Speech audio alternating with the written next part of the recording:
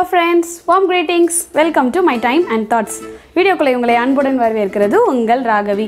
இன்னைக்கு என்ன பண்ண போகிறோம் அப்படின்னா பசலைக்கீரை அப்படின்னு சொல்லுவாங்க இல்லையா? அந்த கீரையை எப்படி செஞ்சு சாப்பிட்லாம் அப்படின்றது தான் பார்க்க போகிறோம் அது வந்து சாப்பாட்டில் பிசைஞ்சு சாப்பிட்ற ஐட்டம் செம்ம சூப்பராக இருக்கும். ஆனால் அந்த பசலைக்கீரையிலேயே ஒரு விஷயம் இருக்குது அது நான் உங்களுக்கு இன்க்ரீடியன்ஸ் காமிக்கும் போது சொல்கிறேன் அதை பார்க்கறதுக்கு முன்னாடி நம்ம சேனல் இது வரைக்கும் சப்ஸ்கிரைப் பண்ணாதவங்க மறக்காமல் சப்ஸ்கிரைப் பண்ணுறங்க கூடவே பக்கத்தில் இருக்கிற பெல் ஐக்கானை கிளிக் பண்ணிங்கன்னா நான் புது வீடியோஸ் போடும்போதெல்லாம் உங்களுக்கு நோட்டிஃபை ஆகிடும் வீடியோ பார்த்தது மட்டும் இல்லாமல் பிடிச்சிருந்ததுன்னா லைக் பண்ணுங்கள் பிடிக்கலன்னா டிஸ்லைக் பண்ணுறீங்களா அது ஏன் அப்படின்றத கமெண்ட்டில் சொல்லுங்கள் அண்ட் ஷேர் பண்ணுங்கள் வாங்க இன்க்ரீடியன்ஸ் பார்த்துடலாம்.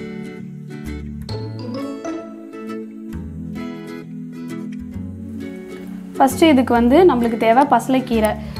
இந்த பசலைக்கீரை என்ன விஷயம் அப்படின்னு பார்த்தீங்கன்னா நான் வந்து சென்னையில் தானே இருந்தேன். இப்போ கல்யாணம் ஆனதுக்கப்புறம் தான் பாண்டிக்கு வந்தேன். சென்னையிலலாம் பசலைக்கீரை அப்படின்னா வெத்தலை மாதிரியே இருக்கும்.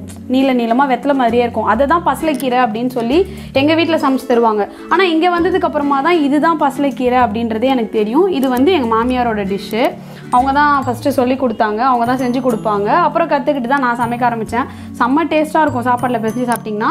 இது வந்து நீங்கள் வாங்கிட்டது வந்ததுக்கப்புறமா இதை வந்து நல்லா பார்த்து ஒரு ரெண்டு மூணு தடவை ஆயணும். ஏன் அப்படின்னா மற்றதெல்லாமும் குப்பை எல்லாமும் இதில் கலந்துருக்கும் அண்ட் நிறைய மண் இருக்கும். ஸோ அதனால் ஒரு நாலு தடவையாவது நல்லா வாஷ் பண்ணி இந்த மாதிரி ஃபில்டரில் போட்டு வைங்க. நான் வந்து மதியம் செய்யறதுக்காக காலைல வாஷ் பண்ணி ஃபில்டரில் போட்டு வச்சுருக்கேன். காலையில் செய்யணும் அப்படின்னா நீங்கள் நைட்டு தாராளமாக அலசிட்டு இந்த மாதிரி போட்டு வச்சிடலாம். தண்ணியெலாம் இழுத்து அது அழகாக அப்படியே பூத்த மாதிரி இப்படி நல்லா விரிஞ்சு வந்து நிற்கும் ஸோ இதுதான் பசலைக்கீரை. இதுக்கு வந்து என்ன தேவை அப்படின்னா மஞ்சள் தூள் கொஞ்சமாக புளி கடுகு கருவேப்பிலை காஞ்ச மிளகா கல்லுப்பு ஒரு தக்காளி ரெண்டு பச்சை மிளகா கொஞ்சம் பூண்டு அண்ட் வந்து எண்ணெய் பெருங்காயத்தூள். ஸ்டவ் ஆன் பண்ணி ஒரு வானல் வச்சு ஒரு ரெண்டு ஸ்பூன் எண்ணெய் விட்டுருக்கேன். அடுத்து காஞ்ச மிளகா போட்டுக்கலாம். போட்டு இது கொஞ்சம் லைட்டாக வறுபடட்டும் அப்படின்னு வெயிட் பண்ணிவிட்டு அதுக்கு அடுத்து அடுத்து ஒன்று ஒன்றா சேர்த்துக்கலாம். ஸோ மிளகாவை வறுத்து நான் வந்து ஜாருக்கு ட்ரான்ஸ்ஃபர் பண்ணிட்டேன். ஏன் அப்படின்னா நான் வந்து இன்றைக்கி மிக்சியில் தான் வந்து கீரையை ஒரு ஓட்டு ஓட்டி இறக்க போகிறேன் நீங்கள் வீட்டில் சட்டி வச்சுருக்கீங்க சட்டியில் செய்ய உங்களுக்கு விருப்பம் அப்படின்னா நீங்கள் தாராளமாக சட்டியில் கூட கடையலாம். இன்னும் டேஸ்ட்டாக நல்லாயிருக்கும் அடுத்து வந்து நம்ம பூண்டை போட்டுக்கலாம். பூண்டு வந்து கொஞ்சம் நல்லா தாராளமாகவே எடுத்துக்கோங்க நல்லாயிருக்கும். அண்ட் இன்னொரு விஷயம் வந்து உங்களுக்கு காரம் நல்லா சாப்பிட்ற ஆள் அப்படின்னா நீங்கள் பச்சை மிளகா கூட வேணால் இன்னும் ஒரு ஒன்றோ ரெண்டோ வந்து நீங்கள் எக்ஸ்ட்ரா ஆட் பண்ணிக்கலாம். நான் வந்து இன்றைக்கி நாட்டு மிளகா அப்படின்றதுனால காரம் ஏற்கனவே ரொம்ப தூக்கலாக இருக்கும். அதனால் ரெண்டே ரெண்டு தான் போடுறேன். பூண்டு மிளகா இதுவும் நல்லா வதங்கிட்டோம் அப்படின்னு வெயிட் பண்ணலாம். ஸோ பூண்டு வறுபட்டுருச்சு. அதனால் நான் பூண்டை மட்டும் எடுத்து அதே ஜார்லேயே போட்டேன். மிளகா அப்படியே இருக்கட்டும். இன்னும் கூட கொஞ்சம் நல்லா வதங்கட்டும் அப்படின்னு. அது கூட வந்து ஒரு தக்காளியை வந்து சும்மா ஒரு நாலாக கட் பண்ணி போட்டு எடுத்து வச்சுருக்க புளியும் சேர்த்து போட்டேன். இதுவும் நல்லா வதங்கிட்டோம். இப்போ பார்த்தீங்கன்னா தக்காளி புளி மிளகா எல்லாம் நல்லா வதங்கிருச்சு. அது எடுக்கணும் அப்படின்னு அவசியம் இல்லை. நம்ம மேலேயே வந்து நான் இந்த கீரையை ட்ரான்ஸ்ஃபர் பண்ணிடலாம். ஸ்டவ்வை சிம் ஆக்கிட்டு கீரையை கொஞ்சம் கொஞ்சமாக போட்டு கிளறி விடுங்க. அது வந்து நல்லா தண்ணி விட்டு கலரே சேஞ்ச் ஆகி வரும் உங்களுக்கு. நான் உங்களுக்கு எப்படி வருது அப்படின்றதையும் காமிக்கிறேன். இப்போ அடுத்து தண்ணி விட ஆரம்பிச்சிருச்சு. கீரை கொஞ்சம் கிட்ட நான் கிட்ட நிற்கிறேன் அப்படின்றதுனால நான் கொஞ்சம் ஹை ஃப்ளேம்லேயே வச்சு வதக்குறேன். தண்ணியெல்லாம் இழுத்து கொஞ்சம் கலர் மாதிரி வந்துடும் அது வரைக்கும் நம்ம கிண்டுவோம். அண்ட் இன்னொரு விஷயம் சொல்லணும் அப்படின்னு நினச்சேன். இப்போ நம்ம வீடியோஸ்லாம் பார்த்திங்கன்னா ஸ்டார்டிங்லேருந்தே இப்போ வரைக்கும் சில வீடியோஸ்லாம் வந்து நல்ல நிறைய வியூஸ் போயிருக்கு. சில வீடியோஸ்லாம் வந்து ஒரு மினிமம் எப்படியும் ஒரு ஒன் செவன்ட்டி ஒன் எயிட்டியாக தாண்டிடுது. அதுக்கு கம்மிலாம் போகிறதில்ல ஸோ அந்தளவுக்கு தாண்டுறது வந்து எனக்கு ரொம்ப சந்தோஷமாக இருக்குது எல்லாமே வியூவர்ஸான நீங்கள் கொடுக்குற சப்போர்ட்டில் தான். ஆனால் அதே அளவுக்கு நீங்கள் வந்து வீடியோ பார்த்தது மட்டும் இல்லாமல் பிடிச்சிருந்தது அப்படின்னா ஒரு லைக் கொடுக்குறதோ இல்லை ஒரு கமெண்ட்டில் எதுனா உங்கள் கருத்துக்களை ஷேர் பண்ணுறதோ இல்லை வீடியோ பார்த்துட்டு அதில் இருக்கிறத இதை பற்றியாவது கமெண்ட் பண்ணுறதோ வந்து நீங்கள் வந்து ஒரு எனக்கு ஒரு எனர்ஜி கொடுக்குற மாதிரி. அப்போ எனக்கு என்ன ஆகும் அப்படின்னா நம்மளுக்கு இவ்வளோ ஃபீட்பேக்ஸ் வருது நம்மளுக்காகன்னு இவ்வளோ தூரம் சப்ஸ்கிரைபர் செய்யும்போது உங்களுக்காக நிறைய இன்னும் புதுசு புதுசாக யோசிக்கணும் வித்தியாசமாக கொடுக்கணும் இன்னும் கொஞ்சம் நல்லா அப்டேட்டடாக ஏதாவது செய்யணும் அப்படின்ற தாட்ஸ்லாம் வந்து எனக்கு நிறைய வரும். எனக்கு வந்து அது ஒரு எனர்ஜி மாதிரி. இதெல்லாம் நீங்கள் மறக்காமல் இனிமேல் வர வீடியோஸ்லலாம் கண்டிப்பாக செய்வீங்க அப்படின்னு எதிர்பார்க்குறேன். இந்த வீடியோஸ்க்கும் எப்படியாவது ஹண்ட்ரட் லைக்ஸ் மேலே நீங்கள் தருவீங்க அப்படின்னு எதிர்பார்க்குறேன். கண்டிப்பாக செய்வீங்க அப்படின்னும் நம்புகிறேன் ஸோ பார்த்தீங்கன்னா கீரை வந்து நல்ல தண்ணியெலாம் இழுத்து நல்லா வதங்கிருச்சு. நான் எவ்வளோ கீரை போட்டிருந்தேன்? எவ்வளோண்டு ஆயிடுச்சு பார்த்தீங்களா? அண்ட் கலரும் எப்படி இருந்தது? எப்படி சேஞ்ச் ஆகிருக்கு அப்படின்னு பாருங்கள் ஸோ இதுதான் இந்த கீரையோட பதம். இதை வந்து இப்போ நம்ம என்ன பண்ணோம் அப்படின்னா ஒரு ஹையில் வச்சே வந்து சும்மா ஒரு ரெண்டு கிளறு கிளறிட்டு ஆஃப் பண்ணிடலாம். ஆஃப் பண்ணிவிட்டு நல்லா சூடு ஆறட்டும் அப்படின்னு வெயிட் பண்ணி அதுக்கப்புறமா அரைக்கலாம். ஃபஸ்ட்டு நான் சொன்ன மாதிரி அதை பவுட்ரு பண்ணி எடுத்து வச்சுட்டு அதுக்கப்புறமா கீரையை போட்டு அரைங்க. அப்போ தான் வந்து உங்களுக்கு வந்து அடைக்காமல் நல்லா அரைஞ்சி வரும். ஏன் அப்படின்னா நீங்கள் வந்து தண்ணி விடாமையே அரைக்க போகிறீங்க ஸோ அதனால் உங்களுக்கு கரெக்டாக அரையணும் இல்லையா? அதனால். இல்லை சட்டியில் நான் கடையிறேன். எனக்கு மிக்சியே வேண்டாம் அப்படின்றவங்க ரொம்ப பெஸ்ட் எல்லாத்தையும் எடுத்து ஒன்றா போட்டு நீங்கள் கிளறிடலாம். ஸோ நான் இதை அரைச்சிட்டு அடுத்து எப்படி தாளிப்பு கொடுக்கணும் அப்படின்றத சொல்கிறேன் ஸோ நம்ம வந்து கீரையும் போட்டு நல்லா அரைச்சி எடுத்துட்டோம். பார்த்தீங்க அப்படின்னா ரொம்ப மைய அரைக்காதீங்க. கொஞ்சம் குறை குறை அப்படின்னு அரைச்சி எடுத்துக்கோங்க. ஸோ இதுக்கு வந்து இப்போ ஒரு தாளிப்பு கொடுத்துடலாம்.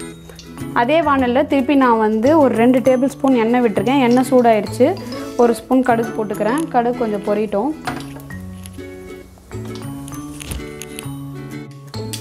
கடுகு பொறிஞ்சிருச்சு. அடுத்து ஒரு ரெண்டு பிஞ்ச் பெருங்காயத்தூள் போட்டுக்கலாம். அதுக்கப்புறமா ஒரு ஸ்பூன் மஞ்சள் தூள். அப்புறம் கொஞ்சோண்டு கருவேப்பிலை. ஸோ எல்லாம் நல்லா பொரியட்டும் அப்படின்னு வெயிட் பண்ணிவிட்டு நம்ம கீரையை இதுக்கு ட்ரான்ஸ்ஃபர் பண்ணிடலாம். நான் ட்ரான்ஸ்ஃபர் பண்ணி ஃபுல்லாக கலக்கிட்டு உங்களுக்கு காமிக்கிறேன். ஸோ நம்மளோட பசலைக்கீரை இஸ் ரெடி டு சர்வ் நல்லா வதங்கிருச்சு பார்த்தீங்களா எண்ணெயும் நல்லா இழுத்துக்குச்சு. கொஞ்சம் லேசாக அப்படியே ஓரத்தில் எண்ணெய் பிரிஞ்சு வரும். நீங்கள் ரொம்பலாம் வைக்கணும் அப்படின்லாம் அவசியம் இல்லை. அதனால் ஸ்டவ்வை வந்து ஆஃப் பண்ணிவிட்டு உங்களுக்கு நான் ப்ரெசன்டேஷனுக்கு வச்சு காமிக்கிறேன்.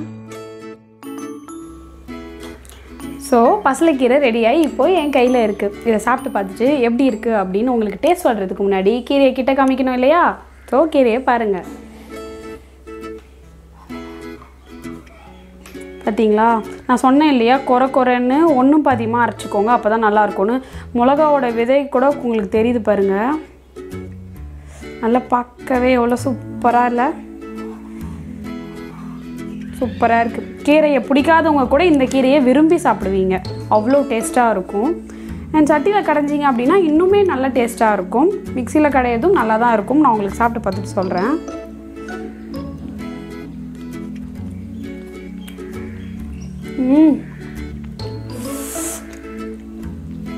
ஆ என்ன ஒரு டேஸ்ட்டு சூப்பராக இருக்குங்க. செம்ம சூப்பராக இது. சாப்பாடே வேண்டாம் இப்படியே எடுத்து சாப்பிடலாம். அவ்வளோ டேஸ்ட்டாக இருக்குது பா பசலைக்கீரையோட டேஸ்ட்டே தனிங்க. அதை சாப்பிட்டு பார்த்தீங்கன்னா அப்படின்னா தான் தெரியும். கூட வச்சுருக்க மிளகா புளிப்பு எண்ணெய் எல்லாம் கலந்து அவ்வளோ சூப்பராக இருக்குது மதிய சாப்பாட்டுக்கு பிசைஞ்சு சாப்பிட்டா இது கூட வந்து ஃப்ரை ஐட்டம்ஸ் ஏதாவது? பொட்டேட்டோ ஃப்ரை இல்லை சேப்பக்கிழங்கு வறுவல். இல்லைனா வெண்டைக்காவை கூட ஃப்ரையாக சூப்பராக பண்ணலாம். வேணும்னா கேளுங்க. அடுத்த வீடியோ வெண்டைக்காய் எப்படி ஃப்ரை பண்ணணும் அப்படின்றத நான் சொல்கிறேன் ஏன்னா குழ குழன்னு ஆகிடும் சில பேருக்கு சில பேர் வெங்காயம் தக்காளிலாம் போட்டு செய்வீங்க. அப்படிலாம் இல்லாமல் ரோஸ்ட் மாதிரியே சூப்பராக வெண்டைக்காவை கூட செய்யலாம். அது இதுக்கு நல்லாயிருக்கும். எதுவுமே இல்லை அப்படின்னா சிம்பிளாக ஒரு பொட்டேட்டோ சிப்ஸ் இல்லை ஒரு வத்தல் எல்லாமே இதுக்கு சூப்பராக இருக்கும். அண்ட் வந்து கோல்டு பிடிச்சிருக்கவங்க வந்து இந்த கீரையை கோல்டு இருக்கிற அன்னைக்கு சமைச்சு சாப்பிட்றத கொஞ்சம் தவிர்த்துக்குங்க. ஏன் அப்படின்னா இது வந்து குளுமையான கீரை. வெயில் காலத்தில் தான் வந்து இது வந்து நிறைய கிடைக்கும். எங்களுக்குலாம் வந்து தெரு மேலே டெய்லி வித்துட்டு போவாங்க. பத்து ரூபாய்க்கு இவ்வளோ கொடுப்பாங்க கீரை. அந்த மாதிரி இது வந்து ரோட் சைடில் இல்லை வீட்டு வாசலில் வந்து அப்படி அனாமத்தாக இருக்கிற கீரை இது. ஆனால் இதோட பயன்கள் வந்து ரொம்ப அதிகம். கோல்டு பிடிச்சிருந்தா மட்டும் சாப்பிடாதீங்க. உடம்பு ஓவர் ஹீட்டில் இருக்குது உஷ்ணமாக இருக்குது பாடி எப்பயும் உஷ்ணமாக இருக்குது அப்படின்றவங்களாம் சாப்பிட்டீங்க அப்படின்னா நல்ல குளிர்ச்சி தர கீரை இது. ரொம்ப டேஸ்ட்டாக சூப்பராக இருக்கும். அதனால் மறக்காமல் வீடியோ பார்த்த உடனே செஞ்சு பாருங்கள் சாப்பிட்டு பார்த்துட்டு உங்களுக்கு பிடிச்சிருக்கா?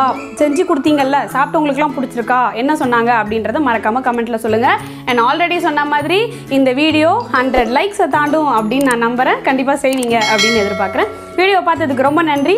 அடுத்த வீடியோவில் உங்களை சந்திக்கலாம். உங்களிடமிருந்து விடைபெறுவது உங்கள் ராகவி. தேங்க்ஸ் ஃபார் வாட்சிங் சி யூ சோன்